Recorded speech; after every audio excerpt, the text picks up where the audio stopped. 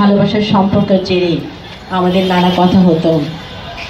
এক বিশাল যুদ্ধের ময়দানে অনেককে গড়ে তুলেছেন। যে কথা এখানে আপনারা শুনলেন সাহস দিয়ে শক্তি দিয়ে পরামর্শ দিয়ে কীভাবে এক একজন শিপ্রা বোস তিনি এখানে তৈরি করেছেন। সুতরাং কিন্তু অল্প সময় টের পাওয়া যায় সেই মানুষটা ছিলেন শিক্ষা বোস একটা মানুষ এই গণজাগরণ মঞ্চে কে কোথায় আছেন? কারা কোথায় কি করছে? সব খবর আছে কেউ স্বপ্ন দেখতে পারছি না। এক ভয়ঙ্কর সময়। সেই ভয়ঙ্কর সময়ে শিপ্রাবর স্বপ্ন দেখছেন? বাংলাদেশকে নিয়ে যদি আরও একটু, তরুণদের নিয়ে যদি আরও একটু কিছু করা যায়। এবং শিপ্রাবাসের বন্ধু হচ্ছেন অনেক শিশুরা, ছোট ছোট বাচ্চারা, তাদের নিয়ে তিনি স্বপ্ন দেখছেন। তখন স্বপ্ন দেখার কিচ্ছু নেই বাংলাদেশে। তখনও তিনি বাংলাদেশ নিয়ে স্বপ্ন দেখছেন। স্বপ্ন দেখতে চাই, সেই স্বপ্নটা শিপ্রা বোস দেখতেন, সেই স্বপ্নটাই যেন আমরা ছড়িয়ে দিতে পারি। তাহলে শিপ্রা বোস আমাদের মধ্যে থাকবেন, আরও ভালো থাকবেন। কিন্তু অল্প সময় টের পাওয়া যায়, সেই মানুষটা ছিলেন শিপ্রা বোস। একটা মানুষ, এই গণজাগরণ মঞ্চে কে কোথায় আছেন? কারা কোথায় কি করছে সব খবর রাখছে অনেক দূরে সেই সোমালিয়া থেকে। কারা কার চাকরি গেল কার ব্যবসা চলছে না হ্যাঁ কীভাবে কাটাচ্ছেন দিন? কে স্বপ্ন দেখছেন তার পেছনে শিক্ষা বসে আছে। এটা আমাদের, আমরা এখন যে সময়টাতে বাস করি, সেটা একটা অদ্ভুত সময়। এটা উনিশশো উনসত্তরের উনসত্তর সাল নয়, এবং এটা নব্বই সালও নয়, যখন শিপ্রা বসার রাস্তায় নেমেছিলেন।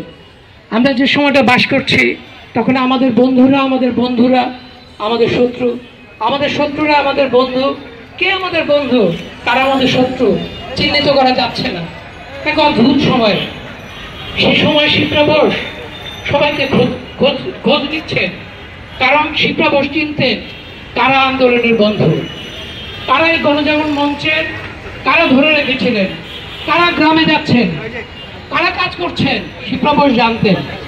কারণ শিপ্রা বোস এই মানুষদের মধ্যে ছিলেন। তার একটা আকাঙ্ক্ষা ছিল। আমাদের কিন্তু সেই আকাঙ্ক্ষাগুলো মরে গেছে। এবং আমরা যারা পঞ্চাশ পড়েছি, এবং আমরা জানি যে আমাদের আকাঙ্ক্ষা নেই। আমরা দেখছি যে বাংলাদেশ, সেই বাংলাদেশ আওয়ামী লীগ, বিএনপি বিএনপি আওয়ামী লীগ করে করে আজকে সেই বাংলাদেশ এমন এক রাজনৈতিক খেলার মধ্যে ডুবে গেছে, যেখানে আসলে কোনো রাজনীতি নেই। কেউ স্বপ্ন দেখছেন না। কোনো মানুষের স্বপ্ন নেই। সেরকম একটি বাংলাদেশ আজকে তৈরি হয়েছে। এই বাংলাদেশে এরকম সময়ে আমরা আসলে কেউ স্বপ্ন দেখতে পারছি না। এক ভয়ঙ্কর সময়, সেই ভয়ঙ্কর সময়ে শিপ্রাবর স্বপ্ন দেখছেন। বাংলাদেশকে নিয়ে যদি আরও একটু, তরুণদের নিয়ে যদি আরও একটু কিছু করা যায়। এবং শিপ্রাবাসের বন্ধু হচ্ছেন অনেক শিশুরা, ছোট ছোট বাচ্চারা, তাদের নিয়ে তিনি স্বপ্ন দেখছেন। আমরা যদি স্বপ্ন দেখতে চাই,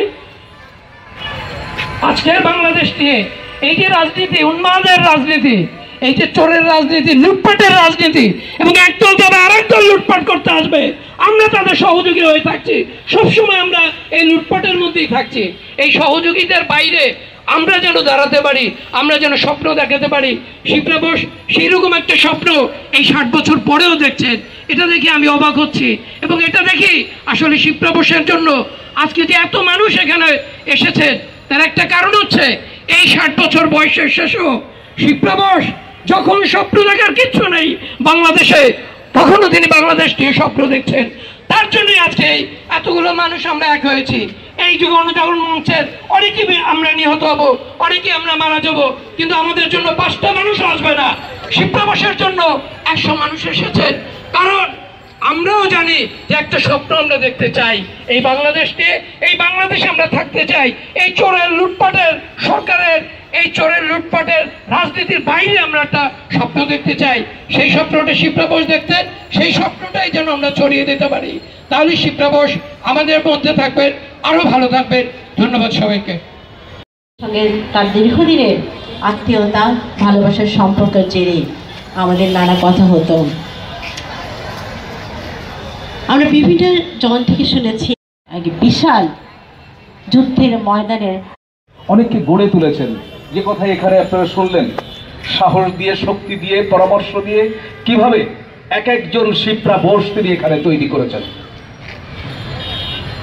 সুতরাং তাকে তাকে নিয়ে খুব বেশি কথা আমি বলে, আরও অনেকে আছেন, তারা কথা বলবেন।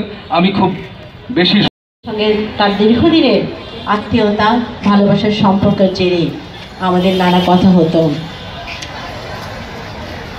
আমরা বিভিন্ন জন থেকে শুনেছি বিশাল যুদ্ধের ময়দানে তখন নানাভাবে নানা গ্রুপে বিভক্ত হয়ে নানা ঢঙ্গে, ভঙ্গিতে এবং নানা সমস্যার মোকাবেলা করে গিয়েছি শিবপ্রতি আসা মাত্রই আমরা বুঝে গেলাম, শিবপ্রতি যেখানে থাকবে সেখানে অনেক কিছু মুশকিল আসান।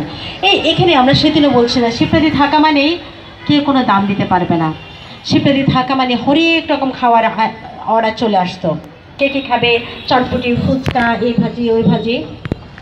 তবে আমার যেটি এখানে আপনাদেরকে জানান দেওয়ার জায়গা, আমরা সেই গণজাগরণ মঞ্চে আমি, শিবপ্রতি এবং নাহিদ আপা, আমি জানি না আজকে উনি আছেন কি না আমরা কয়েকটি স্লোগান বানিয়েছিলাম। যে স্লোগানগুলো আমি মনে করি, উনিশশো একাত্তর সালের যে ইতিহাস পরশদীপ্ত ইতিহাসকে ভাঙচুর করতে সহায়তা করেছিল। যে স্লোগানটির অন্যতম একটি স্লোগান ছিল, আমার মা বীরঙ্গনা, আমরা তাই আপোষী না। আমাদের ধমনীতে বীরাঙ্গনার রক্ত, এ রক্ত কোনোদিনও পরাভব মানে না। সুতরাং বীরঙ্গনা একটি চরিত্র নয় সিঙ্গেল আউট করে কোনো নারী নয়, বীরঙ্গনা সেফ স্পিরিট বীরঙ্গনা আমাদের রক্ত, বীরঙ্গনা একাত্তরের সেই রক্ত, এই স্পিরিটটার মূল শক্তি ছিল বোস আমি এই জন্যে বললাম কথাটা, কারণ অনেক কিছু আসলে আমি নিশ্চিতভাবে জানি, একেবারে নিশ্চিত করে জানি এই তথ্যটি খুব কম মানুষে জানবেন এবং কম মানুষে দিবেন। ভালোবাসার সম্পর্কের জেরে